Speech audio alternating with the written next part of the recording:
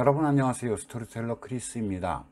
유튜브에서 15분 내외로 짧은 영화를 리뷰해주는 영상들을 보다가 최근에 니콜라스 스팍스의 책을 영화로 만든 Message in a Bottle과 Nights in Rodanthe 영상을 보았습니다.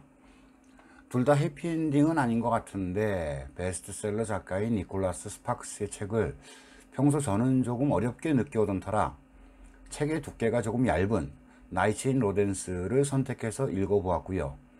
간략하게 소개해 드려 보도록 하겠습니다.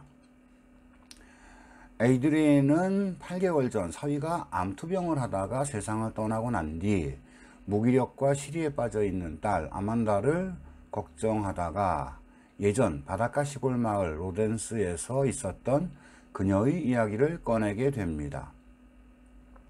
40대 중반의 에이드리언은 남편과 3명의 자녀를 키우는 주부였는데 아이들이 한창 사춘기 무렵에 남편 잭은 같이 일하던 여직원과 바람이 나서 떠나가 버립니다. 아이들을 키우고 편찮으신 아버지를 돌보다 보니 경제적인 여유가 부족해서 도서관에서 아르바이트를 하고 있는데 바닷가 호텔을 운영하는 친한 친구로부터 자기가 결혼식에 참석하느라 호텔을 비우는 동안에 예약 손님이 있으니 호텔을 며칠 맡아달라는 부탁을 받고 로덴스로 옵니다. 50대의 폴은 도시 큰 병원의 유명한 의사이지만 평생을 일만 하며 살다가 부인에게 이혼당하고 아들이 자신과 같은 의사가 된 것에 기뻐하지만 아들은 아버지를 따라서 의사가 된 것은 아니라면서 에콰도르로 의료자원봉사를 떠나가 버립니다. 또 그렇게 어렵지 않은 피부암 수술을 집도했는데 환자가 회복실에서 깨어나지 못하면서 의료 분쟁에 휘말리게 되고요. 최근 소송 중인 환자의 남편으로부터 만나자는 메모를 받고 변호사와 상의 없이 환자의 남편을 만나기 위해 로덴스로 와서 호텔에 묵게 됩니다.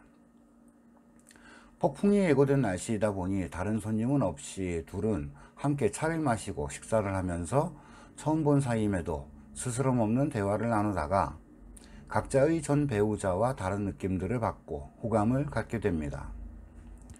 폴은 메모를 보낸 남자를 남편을 만나러 가지만 집 앞에서 만난 그의 아들로부터 심한 말을 듣고 돌아오는데요. 에이드리에는 그의 아들은 그렇게 자신의 마음속 이야기를 한 것일 거라며 잘 들어주었다고 하면서 폴의 당혹감을 가라앉힙니다. 두 사람은 다가올 폭풍에 대비하는데 폴은 어린 시절 아버지와 둘이서 농장 일을 했던 경험을 유감없이 발휘해서 뚝딱뚝딱 처리하고 둘은 더욱 가까워지면서 사랑을 나누게 됩니다. 폭풍이 가고 환자의 남편이 호텔로 찾아오고 자신의 아내가 폴에게는 그저 한 명의 환자였겠지만 얼굴에 있는 흉한 피부로 인해 평생을 의기소침해서 살았던 아내가 자기에게는 세상에서 가장 예뻤다고 고백하면서 그런 아내를 사랑했던 마음과 또한 이른 상실감을 이야기하고 돌아갑니다. 폴은 1년 동안 병원을 쉬면서 아들이 있는 에콰도르로 가서 아들의 자원봉사에 함께하려 합니다. 아들이 성장해서 의사가 될 때까지 전혀 함께 해주지 못하고 한 번도 같이 있어주지 못했던 미안함을 깨닫고 회복하려는 것이죠. 두 사람은 1년 뒤에 다시 만날 것을 약속하고 떨어져 있는 동안 편지로 서로의 사랑을 주고받습니다. 이제 약속한 1년이 다 되어가고 에이드리는 재회를 준비하고 있었는데요. 폴의 아들 마크로부터 편지를 받게 됩니다. 폭우와 산사태로 고립된 마크를 구하러 나선 폴은 차가 미끄러지며 산 아래로 굴렀고 마크는 팔과 갈비뼈 몇 대가 부러졌지만 폴은 심각한 부상으로 죽게 되는데요. 마지막에 용서를 빌면서 숨을 거두었다고 하네요. 에콰도르로 떠날 때 아버지를 다신 안 보겠다고 마음먹었던 마크는 자신을 찾아온 폴이 헤이라는 가벼운 인사만을 한 채 열악한 환경에서도 자신의 능력과 인맥을 총동원해서라도 최선을 다하고 불평 한마디 없이 환자들을 돌보는 모습을 보면서 어린 시절에 자신에게 없었던 아버지를 다시 찾게 되고 그런 아버지의 변화는 에드리엔을 만나기 전부터 시작된 것 같지만 에드리엔을 만나서 더욱 확실해진 것 같다며 당신은 아버지를 구했고 또한 나 자신을 구했다고 감사의 말을 전합니다. 그리고 상처가 치료된 후 에드리엔은 직접 찾아온 에이드리엔을 직접 찾아온 마크는 폴이 붙이지 못했던 편지를 전해줍니다. 그동안 전혀 모르고 있던 엄마의 이야기와 함께 편지들을 읽은 아만다는 엄마의 폴에 대한 사랑과 상실감을 자신이 남편과 사별한 것에 대입하게 되고 한 가지 다른 점은 엄마는 이별의 말을 전할 수도 없었다는 것을 깨달으면서 안타까워합니다. 그러면서 묻습니다.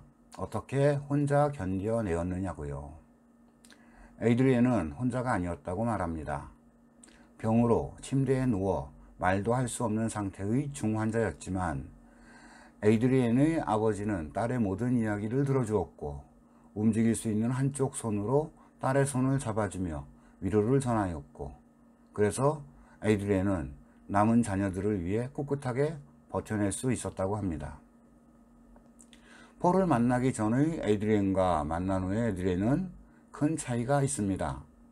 폴을 만나기 이전에는 자신이 버려졌다고 생각하고 아이들과 병든 아버지의 부담을 혼자 짊어지고 있다고 생각했었지만 폴을 만난 이후에는 커진 자존감과 더욱 큰 사랑으로 어린 아이들과 병든 아버지를 돌볼 수 있었던 것입니다. 이제 야만다는 사랑하는 두 아들을 돌아보게 되고 이야기는 마무리됩니다. 영화를 찾아보니 영화는 두 사람의 러브스토리에 집중된 듯 보이고 편지의 내용도 책과 다르게 개인적인 애정 표현이 강하게 각색된 것 같아 리차, 리차드 기어와 다이언 레인 두 명의 대배우의 명연기에도 불구하고 개인적으로 느끼는 감동은 책이 훨씬 크고 또 다양한 의미를 다루고 있다고 생각했습니다. 니콜라스 스파크스의 책은 영화로도 많이 알려졌는데 저는 책의 두께와 문학적 소양의 한계를 느껴서 선뜻 접, 집어들지 못했었는데요. 이번에 나이츠 인 로덴스를 읽으면서 다니엘 스틸의 Five Days in Paris와 The Bridges of Madison County와 비슷하다라는 생각도 들었고 가족에 대한 사랑과 역할이라는 측면에서 파친코에서 느꼈던 감동과도 겹쳐지는 부분이 많았던 것 같습니다. 아마존에서 보니 페이퍼백은 240페이지이지만 제가 읽은 킨들 버전으로는 189페이지로 짧은 편이고요. 중년의 아름다운 사랑과 가족에 대한 사랑, 부모의 역할을 생각해 보기에 좋았던 것 같아서 추천드려 봅니다. 오늘도 영상 시청해 주셔서 감사합니다. 지금까지